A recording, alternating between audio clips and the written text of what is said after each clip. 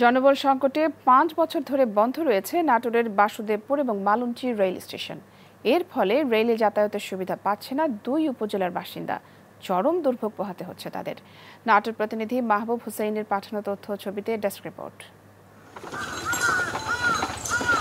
উনিশশো সাতাশ সালে চালু হয়েছিল নলডাঙ্গা উপজেলার বাসুদেবপুর ও বাগাতিপাড়া উপজেলার মালঞ্চি রেল স্টেশন। বর্তমানে জনবল সংকটের কারণে পাঁচ বছর ধরে বন্ধ আছে স্টেশন দুটি।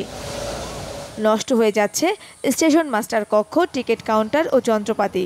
স্টেশন দিয়ে ট্রেন চলাচল করলেও স্টপেজ না থাকায় ক্ষুব্ধ স্থানীয়রা। ঈশ্বর দিক থেকে ব্যাগ সাইড ছাড়তে যায় এই গাড়িটা অফিসে ছাড়লে ওই গাড়ি আবার মাধ্যমে না যাওয়া পর্যন্ত ছাড়বে না আব্দুলপুর থেকে। জানেন গাড়িগুলো কত মার খাচ্ছে? আমাদের বাসিতাপুর স্টেশনটা দীর্ঘদিন যাবৎ পড়ে আছে। এই কারণে মহিলা এবং বৃদ্ধদের ওঠাটা অনেক কষ্ট হয় ট্রেনে। স্টেশন দুটিতে মাস্টারের পথ থাকলেও নেই পয়েন্টসম্যান।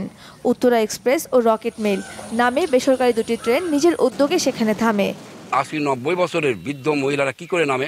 কত খাম যে হয়ে যাচ্ছে।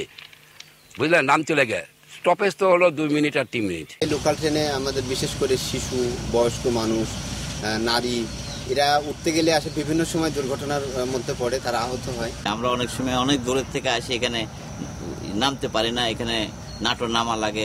পর্যাপ্ত জনবল নিয়োগ দিয়ে স্টেশন দুটি আবার চালু হলে রেল ক্রসিং সুবিধার পাশাপাশি শিডিউল বিপর্যয় রোধ করা সম্ভব হবে বলে মনে করেন রেল সংশ্লিষ্টরা। এইটা চালু থাকলে এইটা রেলের জন্য এই শিডিউল বিপর্যয়টা অনেকটা কমে যেত এই দাবিটা ঊর্ধ্বতন কর্তৃপক্ষের কাছে আমাদের বলা আছে। ভবিষ্যতে হয়তো স্টেশন চালু হলে হয়তো দু একটা আন্তনগর ট্রেনের স্টপেজ দেওয়া সম্ভব হবে। জেলার সাথে রাজধানী সহ দক্ষিণ ও উত্তরাঞ্চলের রেল যোগাযোগ সহজ করতে দ্রুত স্টেশন দুটি চালুর দাবি স্থানীয়দের। Maasranga news desk.